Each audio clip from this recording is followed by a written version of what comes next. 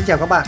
Hôm nay à, tôi sẽ chia sẻ với các bạn chiếc quy trình và lốp ô tô bị thủng và đây là chiếc lốp mà chúng tôi đã đưa từ ở ngoài xe vào sau khi vặn ông vít à, thì đưa vào chúng ta sẽ càng sạch sẽ bề mặt trong ở vị trí lỗ thủng của lốp. À, sau đó chúng ta sẽ bôi keo. À, để kéo khoảng à, hơn một phút hoặc là chúng ta nhìn quan sát vào ở vị trí nó khô là chúng ta có thể dán à, miếng vá vào. Và đối với chiếc lốp này thì bị thủng hai lỗ.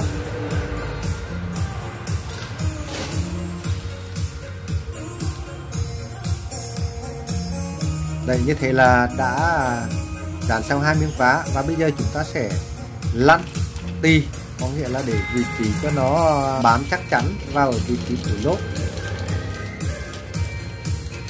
thì con lăn này là nhằm mục đích là để à, thay vì chúng ta đưa búa gõ vào mà chúng ta chỉ lăn như thế này nó sẽ chắc chắn.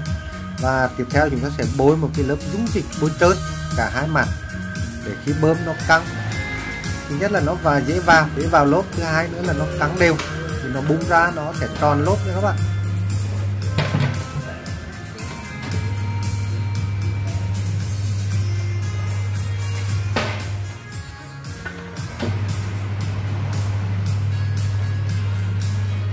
Đấy thờ đang còn à, làm thao tác một cách rất là chuyên nghiệp.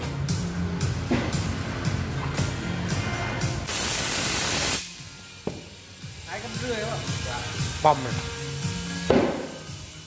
Đấy nó sau khi nó búng đều rồi thì bây giờ à, để tiếp theo là chúng ta sẽ bắt nút ruồi hay có con ruồi ở đầu ván vào có cái cục bơm à, cắn tức là cân lốp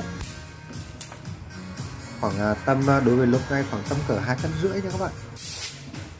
Quy trình vả cho một chiếc lốp như thế này cả vặn ốc cả đưa vào và cả xử lý bói keo khoảng tầm cỡ 6 phút nha các bạn.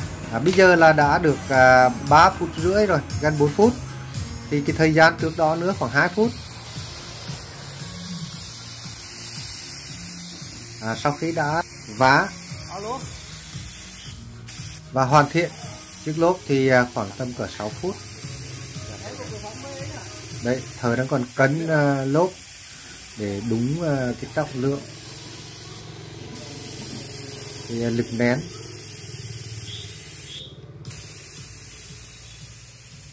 Đấy như thế là, là đã xong nhưng mà cái bước cơ bản. Bây giờ chúng ta sẽ đưa ra để vặn vào.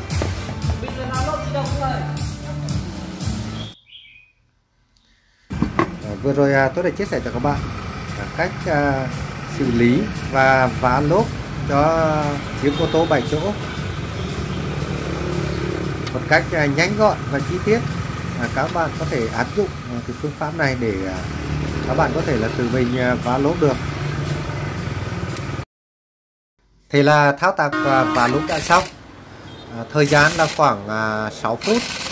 Tiền công là 50 ngàn 20 vá này nha các bạn thợ rất là chuyên nghiệp. Như vậy là công tác và lốp đã xong và đã hoàn thiện.